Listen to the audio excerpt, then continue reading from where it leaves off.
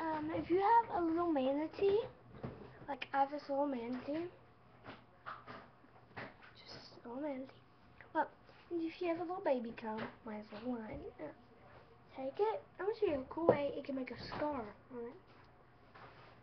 See how it gets darker? Okay, well first, push it all the way up. Okay, then go to one little spot, make sure it's all pushed up.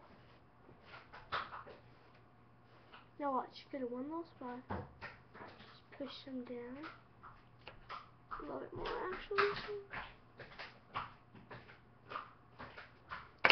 Look, it looks like there's a scar. Isn't that cool? I thought that would be a really cool way to show you all how to make scars. So wait one second, going to show you something real quick. If you have tweezers, this should do great with it. Okay. Pull a little sticker off. Mine has a little, it needs to be a circle. Mine has a little tire. And you can make his eyes look really cool. Look.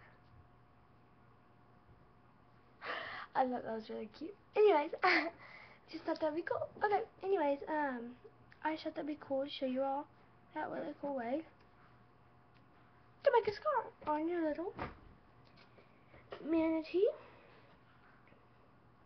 He can flip his eyelids, eyelids over. No, he can't. I'm kidding. Anyways, that's my video. Thanks, comment, rate, and like. Um, I'm trying to get over a million views for like all my videos. I have a bunch. Check them out.